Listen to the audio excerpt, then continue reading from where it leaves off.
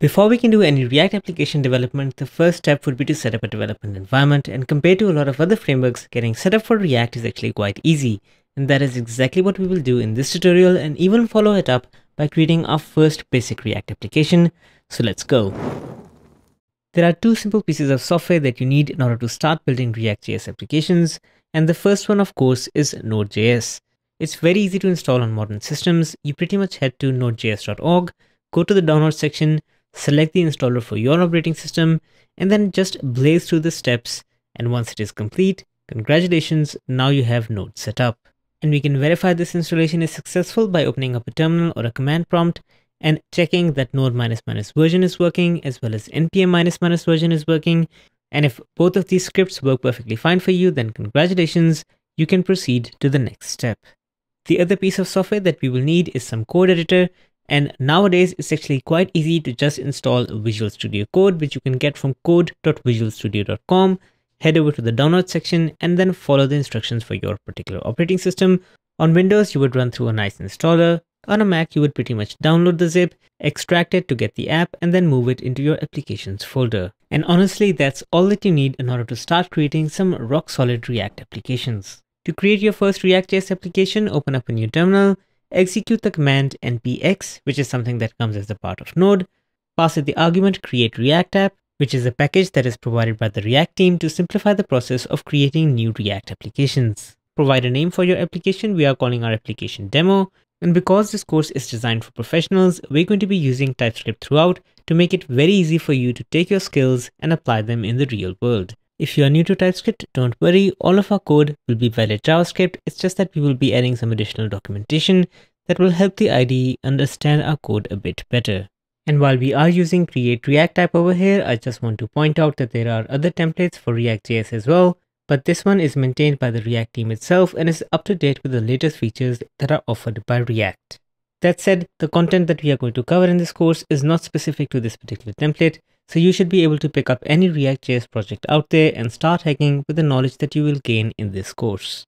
Now with this project called demo created, we can simply cd into the directory and open it up within our IDE. Now there are a number of files within this project, but the first one that we will focus in on is package.json and specifically its scripts section. Start is what we will be using during development and build is something that you can run if you ever want to push this particular application to a live hosting production server. There will be some other instructions that you can find within README as well. But let's just open up a terminal and execute npm start. And this will start our application in dev mode. And you can see a URL that is printed out where we can see our application in action.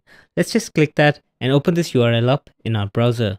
And here we have it, our first React.js application. Now you can see that this template application actually points out the fact that the main source code exists within src slash app.tsx and we can jump into that file and here we can find the main application component, which is rendering the DOM that we are currently looking at the screen, containing that spinning logo and that text message. Let's make a simple modification and instead of rendering what it's already returning, we render a simple div containing a simple message. But because we are running the application in dev mode by using npm start, everything is automatically going to reload and when we jump to the browser, you can see this new div with a new text message being rendered. Now that's the basics of running this application, but let's take it one step further and look at how we can build this application so that it can be hosted on a production hosting server. As you might recall from just a minute ago, we have a script to build this application for production called build. So we simply execute npm run build and this gives us this build folder that contains the compiled version of all of our code so that it can be easily served up with any hosting provider. For example, we can even run a simple local hosting server by executing npx serve and setting the serve path to be this build directory. And with this simple command, which has nothing to do with React at this point, we are serving our built assets on localhost 3000 and we can verify that the production version matches exactly what we saw during development. With that out of the way, I want to reiterate that for a large portion of this course, we will be focusing on React and it doesn't really matter which particular template you are using you will be able to copy the code that exists within app.tsx into any React application that you might have.